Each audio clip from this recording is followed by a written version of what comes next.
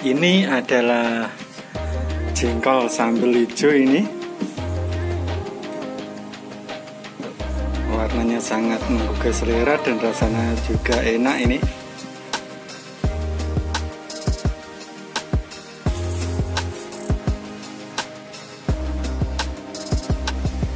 Bagaimana cara masaknya?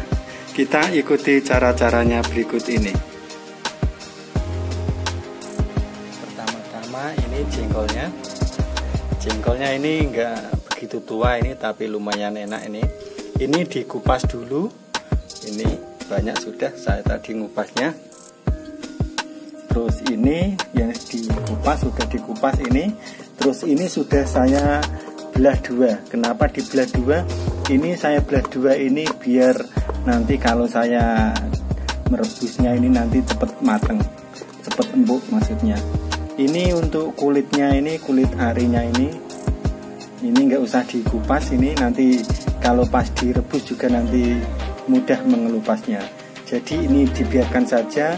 Ini direbus kurang lebih selama antara 20 sampai 30 menit.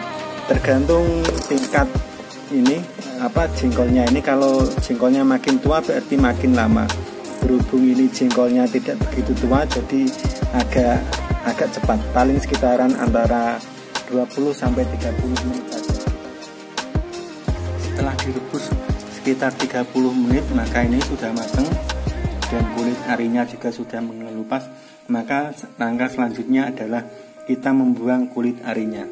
Kita kupas dulu ini dengan dan kita cuci dengan air bersih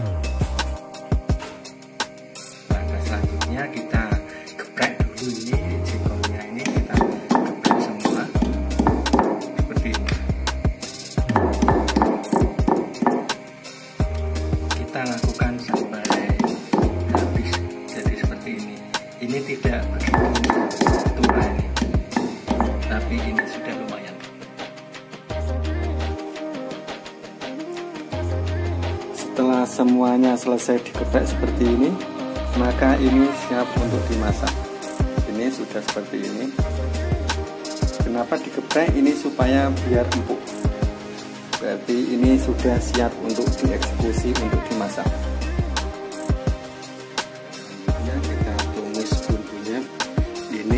adalah pakai cabai hijau. Sebenarnya bukan cabai hijau cuma kebetulan cabai merah lagi mahal jadi saya pakai cabai hijau. Bumbunya cabai hijau bawang merah bawang putih saja.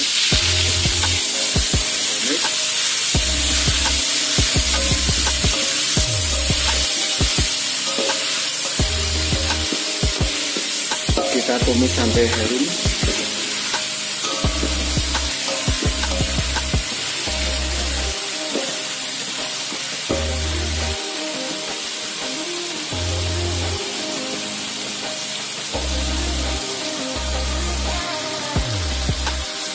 kita tambahkan saus. Kenapa ditambah saus? Ini biar pedes. Ini saus sambal ini biar pedes.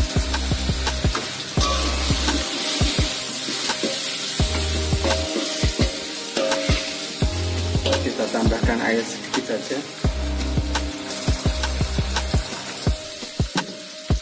Banyakkan ini. Nggak apa-apa. Kita tambahkan sausnya lagi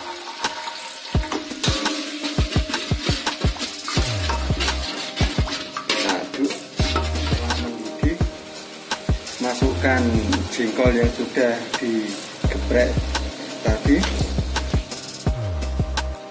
Kita aduk rata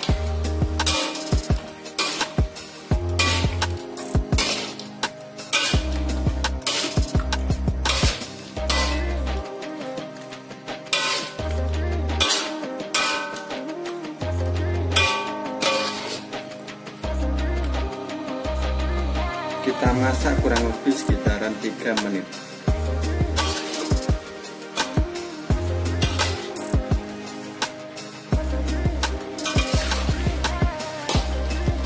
Lalu tambahkan penyedap rasa. Ini kali ini saya memakai masako. Masako rasa sapi. Kita kasihkan sebungkus semua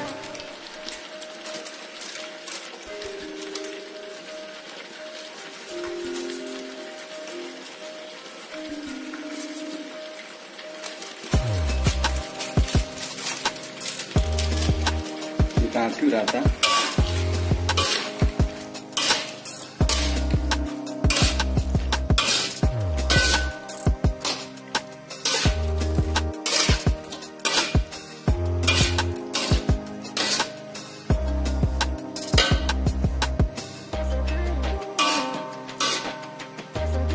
Maka jengkol bumbu hijau sudah matang inilah resepku kali ini resep yang sangat sederhana selamat mencoba dan selamat menikmati